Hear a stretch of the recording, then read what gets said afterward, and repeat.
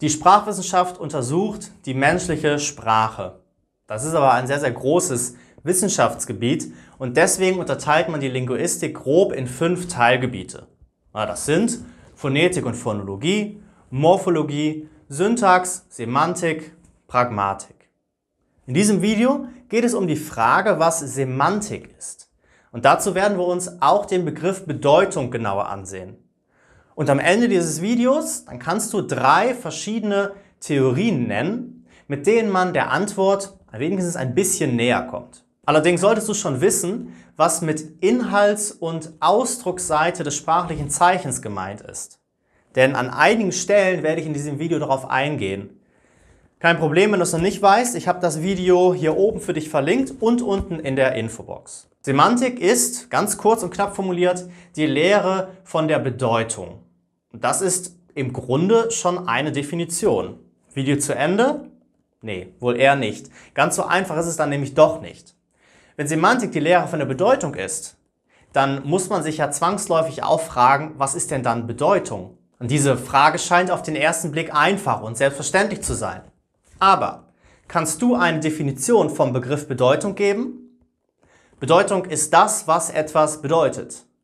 Nee, natürlich nicht. Wir drehen uns im Kreis. Aber dieses Problem müssen wir klären, um besser zu verstehen, was Semantik eigentlich genau ist. Es gibt verschiedene Theorien zum Begriff Bedeutung. Einerseits gibt es die sogenannten referenziellen Bedeutungstheorien, in denen die Bedeutung eines sprachlichen Zeichens die außersprachliche Einheit ist, für die das Zeichen steht. Also, nochmal einfacher formuliert. Die Bedeutung eines Ausdrucks sind die Dinge in der Welt, die durch diesen Ausdruck bezeichnet werden. Das durch ein Zeichen bezeichnete Objekt nennt man auch Referent. Vor allem anhand von Eigennamen lässt sich das ziemlich gut erklären. Der Eigenname Ralf Medling, der referiert auf das Individuum, Ralf Medling. Die Beziehung zwischen beiden, also der Ausdruck und das Individuum, das nennt man Referenz oder Extension. Das ist natürlich schon eine ganz nette erste Herangehensweise, aber sehr weit kommt man damit nämlich nicht. Wie ist es nämlich mit Wörtern wie dort oder Einhorn? Der berühmte Schweizer Linguist Ferdinand de Saussure, der hat sich auch stark gegen einen solchen referenziellen Ansatz ausgesprochen. Er folgt einem Ansatz, der zu den mentalistischen Bedeutungstheorien zählen. Das Bezeichnete ist daran eine Vorstellung, also Ausdrücke erhalten ihre Bedeutung dadurch, dass wir sie uns in unserem Kopf vorstellen. Klar, das ist bei Wörtern wie einem konkreten Inhalt wie Stuhl oder Katze äh, sehr logisch. Aber unter den Begriff Stuhl fallen viele verschiedene Stühle. Wie Schreibtischstuhl, Hocker, Drehstuhl. Und wie ist das mit Begriffen wie Frieden oder der Konjunktion wenn? Haben wir davon auch eine Vorstellung im Kopf? Hm, bis zu einem gewissen Grad schon, aber es gibt Grenzen.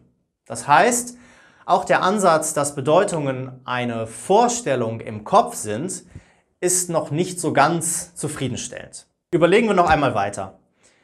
Wenn ich über einen Stuhl rede und du dich überhaupt nicht fragst, was ein Stuhl denn eigentlich ist, dann muss es also so etwas geben wie eine Absprache zwischen uns.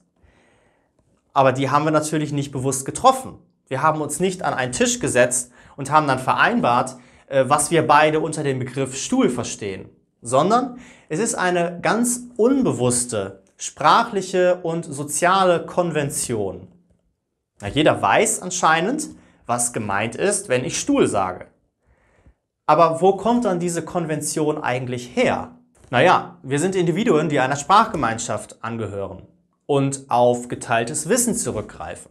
Und dieses Wissen ganz regelgetreu auch befolgen. Und diese Bedeutungstheorie fällt in den Bereich der konventionalistischen Bedeutungstheorien. Ein ganz wichtiger Name in diesem Bereich ist Ludwig Wittgenstein. Und der sagte, die Bedeutung eines Wortes ist sein Gebrauch in der Sprache. So, Semantik ist also die Lehre von der Bedeutung. Und was ist Bedeutung nun genau? Keine Ahnung.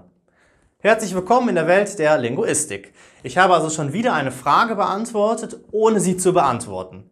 Es gibt halt eben viele verschiedene Theorien und ich lade dich ganz herzlich dazu ein, deine eigene Theorie zu entwickeln. Aber gerade deswegen finde ich Linguistik auch so spannend. Es ist ein riesiges und ungelöstes Rätsel und nach jedem Schritt, den man in eine Richtung setzt, in der Hoffnung, dass man vielleicht eine Antwort findet, entstehen wieder komplett neue Fragen.